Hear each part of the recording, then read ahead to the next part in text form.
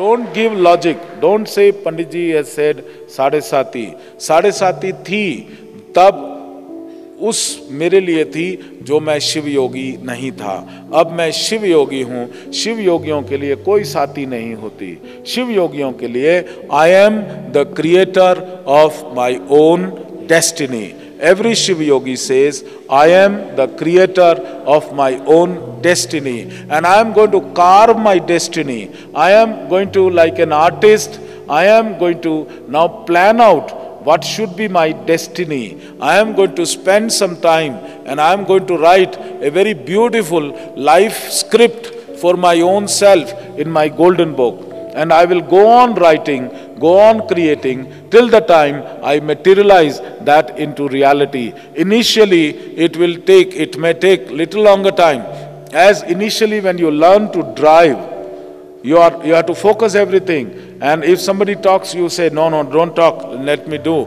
And after you learn driving, then with one hand and you're turning face and you are doing like that. Similarly, when you are learning, it is your apprentice now uh, to, for, for materialization in Shiva Yoga. Initially, you will have to really focus, really work, and it may take little time.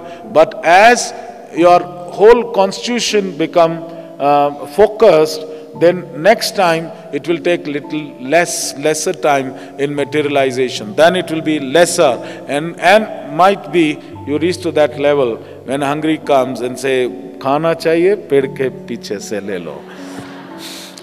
that also the yogis the siddhas they achieved it. And why not? They were also human being. They were also born a ordinary human being. But they realized their inner infinite potential. They meditated and they awakened the God which is living within them.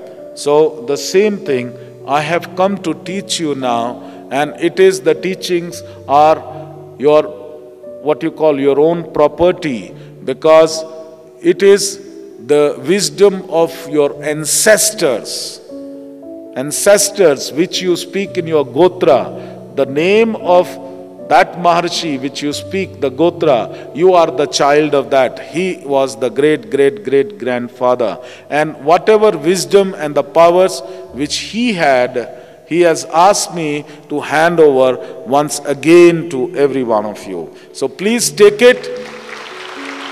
It is all yours. Relish it. It is an infinite wealth I am giving you. It is infinite wealth.